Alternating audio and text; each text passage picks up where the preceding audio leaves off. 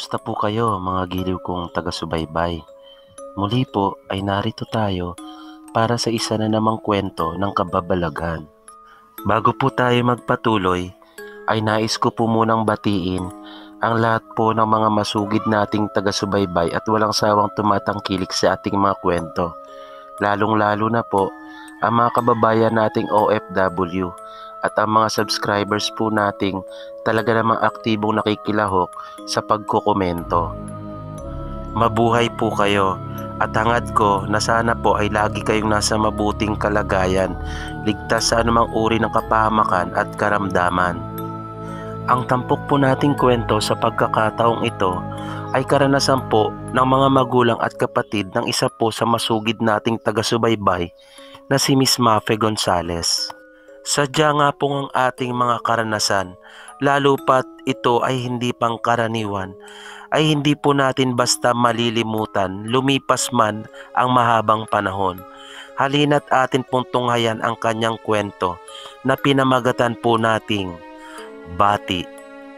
Noong panahon daw na sanggol pa ang kanyang kuya, ay nakaugalian na ng kanilang ina na dalhin ito sa pagsisimba at pagkatapos ay didiretso sa pamamalengke. Isang araw, matapos makapamalengke, pagdating sa bahay ay napansin niya na matamlay ang kanyang anak. Kaya agad niya itong pinadede sa pag-aakalang nagugutom lamang ito. Matapos maubos ang ibinigay na dede ng ina, ay bigla itong sumuka at nagsimula ng umiyak.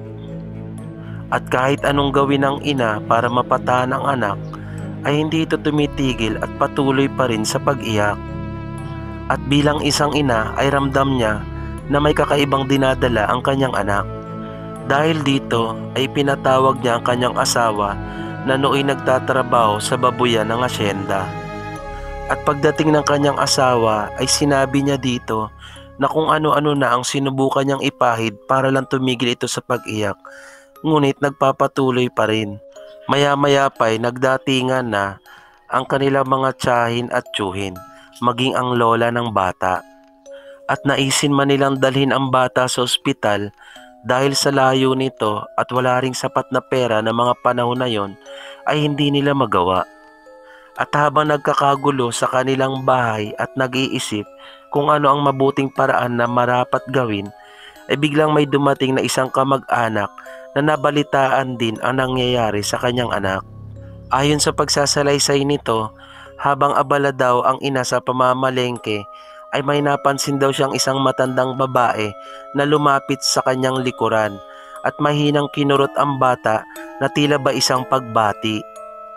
Dahil sa kanilang narinig, ay naisip nilang ito nga marahil ang dahilan kung bakit nagkakaganon ang bata.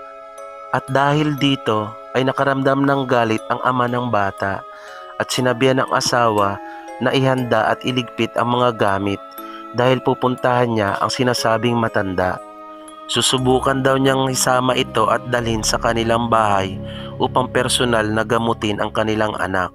At pag hindi daw ito sumama ay hindi daw niya alam kung ano ang maaari niyang gawin kaya't pinaghahanda niyang asawa sa anumang pwedeng mangyari. Nang palis na ang ama ng bata ay binilinan ito ng kanyang tsahin na kahit anong mangyari ay dapat madala niya ang matanda sa kanilang bahay.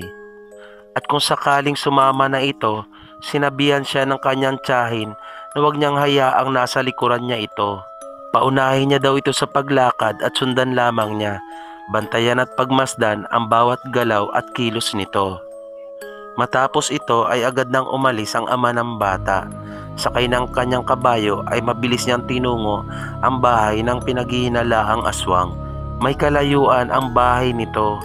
Mga dalawang bundok ang layo nito mula sa kanila. Alas 3.45 na ng hapon nang marating niya ang bahay ng matanda. At kahit may nararamdamang galit dahil sa nangyari sa anak, ay nagpakatao pa rin ito. Bumati siya ng isang magandang hapon at mahinahon na tinawag ang matanda. Maya-maya pa'y lumabas ang anak nitong lalaki at tinanong kung ano ang pakay niya. Sinabi niya na may kailangan siya sa kanyang ina at kailangan niyang makausap ito. At sinabi pa niyang lubhang mahalaga ito. Kaya agad naman tinawag ng binata ang kanyang ina. Paglabas ng matanda ay agad niyang sinabi ang kanyang pakay. Ngunit nagdahilan ito at sinabing hindi mabuti ang kanyang pakiramdam. Kaya kahit nalalaman niya na batid ng matanda kung ano ang nangyayari ay pinaliwanag pa rin niya dito at sinabi niyang mayroong nakakita sa palengke sa ginawa niyang pagkurot sa kanyang anak. Sumagot naman ang matanda at sinabing magluluto pa siya. Dahil sa narinig ay sinabi niya na kung ano't ano man ang mangyari sa kanyang anak ay siya ang sisisihin nito.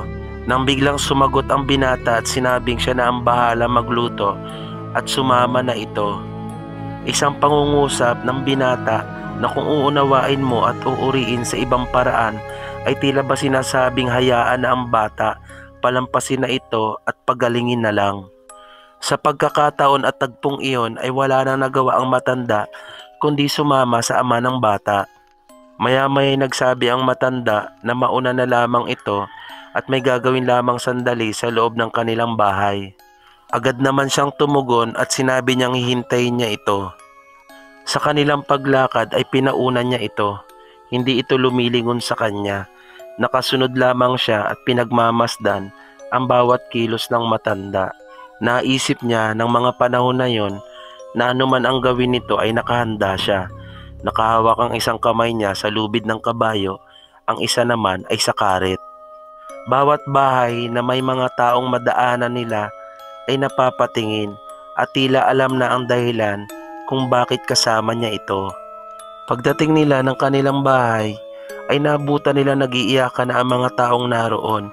Nalaman niya na wala ng pulso ang bata. Paglapit ng matanda ay agad naman itong humingi ng luya at sinimulan ang panggagamot. Ilang sandali lang ang lumipas at nakita nilang gumalaw ang bata at nagsimula na itong umiyak. Ang tila wala ng buhay na sanggol kanina ay heto ngayon umiiyak at buhay na buhay. Matapos nito, mabilis nilang ipinasok ang bata sa kabilang kwarto upang bihisan dahil sa pawis na pawis ito. Samantala, lingid sa kaalaman ng lahat ng taong naroon ang ama ng bata ay pasimpleng pumunta sa kanilang lutuan o sa ibang probinsya ay tinatawag na dapog. At binaliktad nito ang isang panggatong na naroon sa isang saingan. Ginagawa ang pamamaraan na ito upang malaman kung ang isang tao ay aswang. At kapag aswang ang isang tao ay hindi nito magagawang makalabas kung saang bahay man siya naroon. At gayon nga ang nasaksihan nila ng pagkakataon na yon Makailang ulit nang nagpaalam ang matanda ngunit bumabalik ito at nagbibigay ng iba't ibang dahilan kung bakit hindi siya matuloy sa kanyang pag-uwi. At napansin din nila na tila init na init ito at animoy sinisilaban at hindi ito mapakali sa kanyang kinalalagyan. Dahil dito ay nilapitan ng ina ng bata ang kanyang asawa at tinanong ito kung ano ang kanyang ginawa. Sinabi nito na binaliktad niya ang panggatong sa kanilang saingan Pinakiusapan niya ang asawa na hayaan na ang matanda at sinabi pa niya na baka sumpungin pa ng pagkaaswang doon sa kanila dahil maggagabi na. At ayon pa dito, magpasalamat na lamang sila at mabuti na ang kalagayan ng kanilang anak. Agad namang tumalima ang asawa at ibinalik lang sa dati ang panggatong. Nang bumalik sila mag-asawa sa kanilang sala ay wala na roon ang matanda. Ayon sa kanilang mga tsuhin at tsahin ay bigla lang daw tong umalis na walang imik at hindi man lang nagpaalam. At dyan po nagwawakas ang kwentong itinampok po natin sa pagkakataong ito. Sana po ay muli niyong nagustuhan. Patuloy niyo panawang subaybayan ang mga susunod pa nating kwento dito lamang sa Mga Totoong Kwento bago po tayo tuluyang magtapos, ay binabati po natin at wini-welcome ang mga bago po nating subscribers. Mabuhay po kayong lahat. Maraming maraming salamat po sa inyong pagtitiwala at hanggang sa muli.